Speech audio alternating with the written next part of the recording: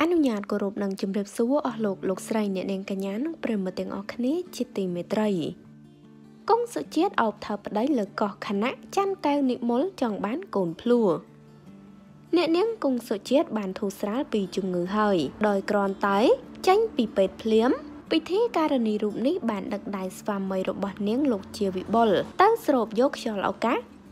នៅឆ្នេរកោះរ៉ុងខេត្តព្រះសីហនុផ្លែតែម្ដងដែលជាការ រឹតបន្ថែមនៅរសជាតិស្នេហ៍ឲ្យវិលមករកភាពផ្អែមល្ហែមឡើងវិញគង់សុជាតិកាន់ដៃវិបុល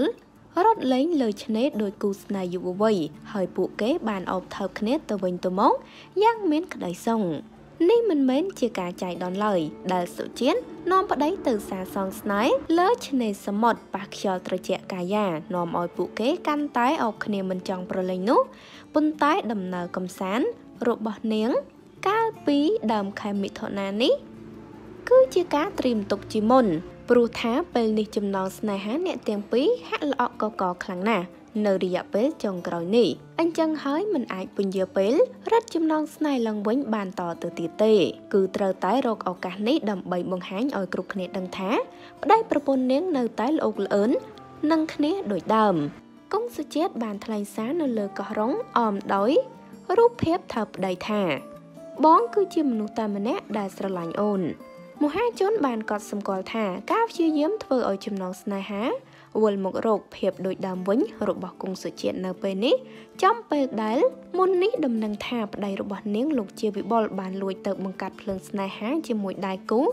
ច័ន្ទកៅនិមលរហូតធ្វើឲ្យថៅកែហងមាសបង្ខំចិន បំបែកពួកគេទាំងពីរលែងឲ្យធ្វើពិធីកពិធីការនី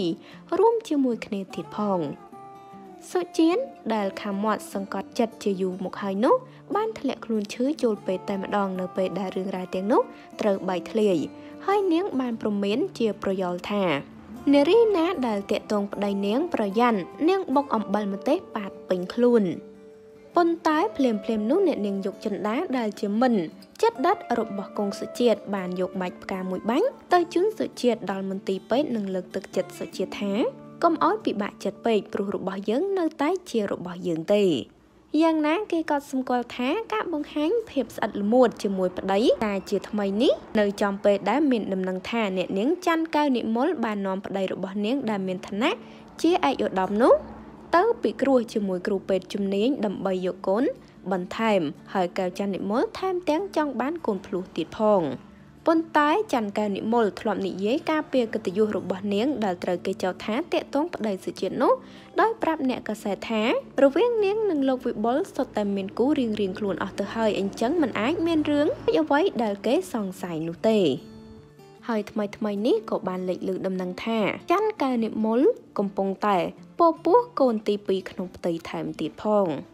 គង់សុជាតិបានរៀបការជាមួយលោកជាវិបុលកាលពីថ្ងៃទី9វិច្ឆិកាឆ្នាំ2013ពេលនេះទទួលបានចំណងដៃកូនស្រីម្នាក់មានឈ្មោះថា